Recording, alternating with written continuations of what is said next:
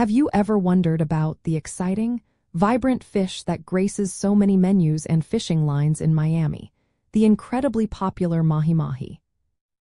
Well, to directly answer your question, mahi-mahi are not considered native fish to Miami's immediate coastal waters in the same way some reef fish are. However, they are highly migratory, pelagic species frequently found and caught offshore in the Atlantic Ocean near Miami.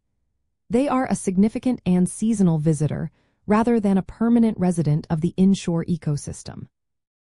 Mahi-mahi, also known as dolphin fish, are highly oceanic, preferring warm, open waters for from shore. They typically swim in the vast expanses of the Atlantic, following currents and baitfish. While they often congregate around floating debris or sargassum weed offshore, their life cycle doesn't root them to Miami's shallower, nearshore environments. Their presence in our waters is a testament to the rich migratory pathways of the Atlantic, making them a seasonal target for sport and commercial fishing, rather than a year-round indigenous species of the reefs or bays. So, for those in Miami who want to enjoy fresh mahi-mahi, you will typically need to venture offshore into the deep blue waters of the Gulf Stream.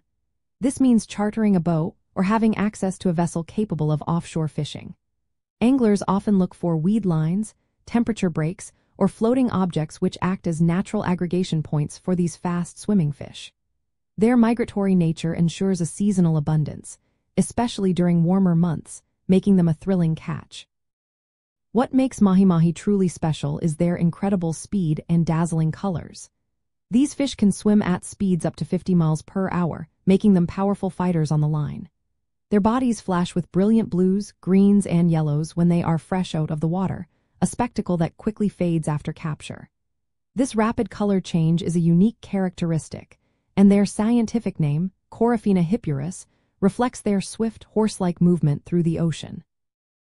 They are also known for their aggressive feeding habits, often striking lures and bait with incredible force.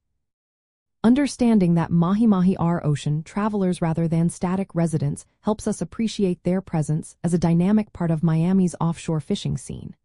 It highlights the vast, interconnected ecosystem of the Atlantic Ocean and the seasonal opportunities it brings to our shores.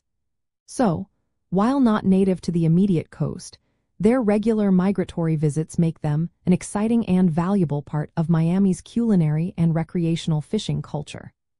ピッ!